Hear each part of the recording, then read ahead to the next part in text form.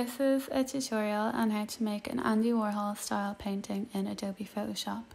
The first thing you're going to do is find an image online you want to use.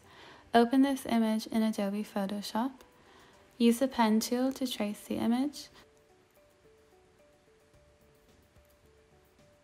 Once the image is traced, pick the Path Selection tool and right click on your selection. Choose Make a Selection from the menu and press OK. So now you're going to click on your layer, press Ctrl J to make a copy of the layer. Then you can delete the background layer and rename your new layer. So now you're going to make another copy of this layer and rename it to copy.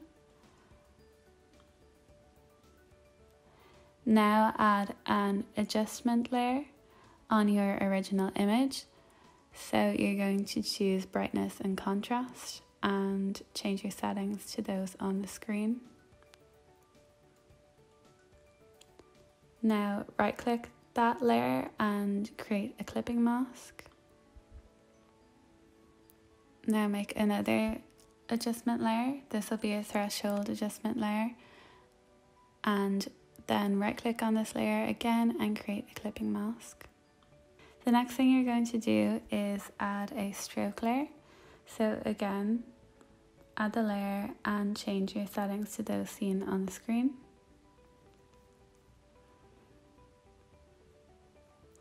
Now you're going to make your copy layer visible and once that's visible change your foreground color to black and the background color to white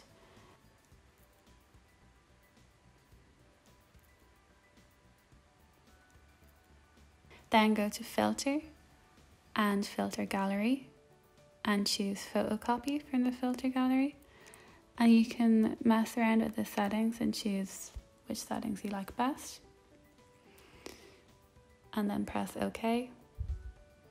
Now change the blend mode to multiply. So now you're going to add a levels adjustment layer to the copy image and then right click and create a clipping mask. Then you're going to select all layers and choose Convert to Smart Object and name this layer Warhol. The next thing you're going to do is create a gradient map adjustment layer. So you can choose any colours you want. I like doing the primary colours first.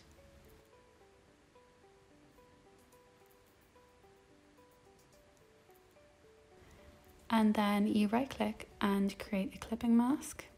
Now to add the background, add a new layer and put it under the Warhol layer. You then choose the background color you want it to be and go to edit, fill and press OK. Copy your layers and merge them together and rename this to poster.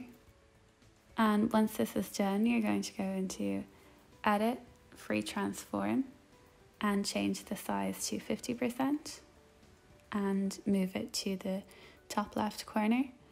Then you're going to copy this layer and paste it three times and move each to their respective corners. So now you're going to add a new hue saturation adjustment layer.